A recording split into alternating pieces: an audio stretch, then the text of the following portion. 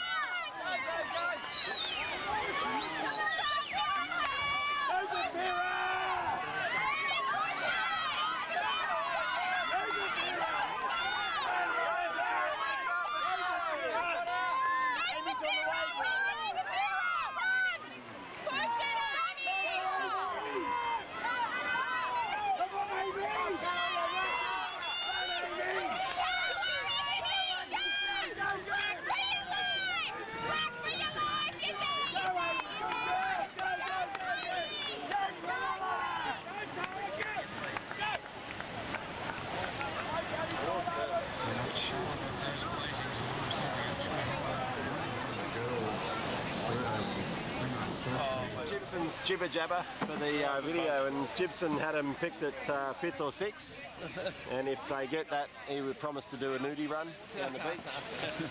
and Michelle, our chairperson Michelle, had called him as uh, getting a bronze medal.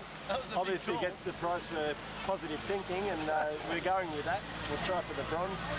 Uh, Rachel Gadders, uh, assistant age manager, she's around somewhere. Rachel's rant. Rachel's rant. We had um, we had him picked as fourth, so um, see how we go.